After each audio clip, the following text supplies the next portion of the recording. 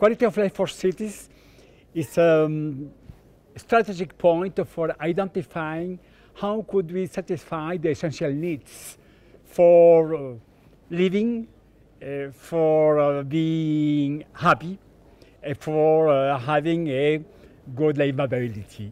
In our research work uh, at Sorbonne University, we have defined the high quality social life with six essential needs for satisfying. To live in the good condition, to have a work, uh, to supply in the short distances, to care, to educate, to enjoy the public space. With three new indicators, my personal well-being with my family, my sociability with my neighbor and my uh, work colleagues, and my positive ecological attitude with the planet and my otherness.